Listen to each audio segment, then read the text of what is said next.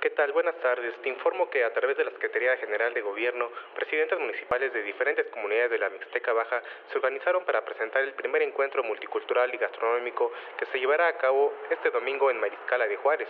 La de Mariscala, María Antonia Lucero Martínez, informó que en dicho evento histórico participarán más de 10 municipios del distrito de Oaxapan que darán a conocer productos locales, tradiciones y destinos turísticos.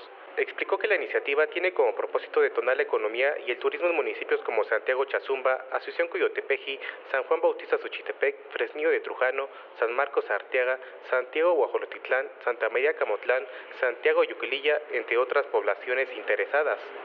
Citó que cada municipio participante expondrá su gastronomía, así como productos que elaboran en sus comunidades. Se ofertará pan, chocolate, mezcal y productos del campo como jitomates, calabacitas, cacahuate y más elementos naturales que se producen en las poblaciones.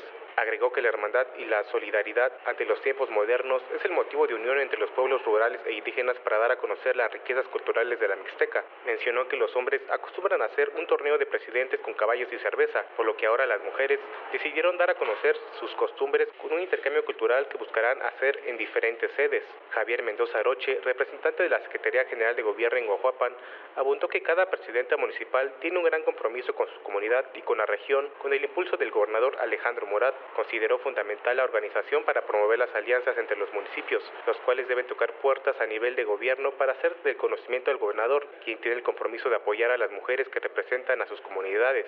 Las presidentas municipales anfitrionas coincidieron en querer acabar con el machismo que impera en sus comunidades, problema social con el cual miles de mujeres luchan diariamente en sus hogares y que sigue cobrando vidas. Este es mi reporte hasta el momento desde la región mixteca. Buenas tardes.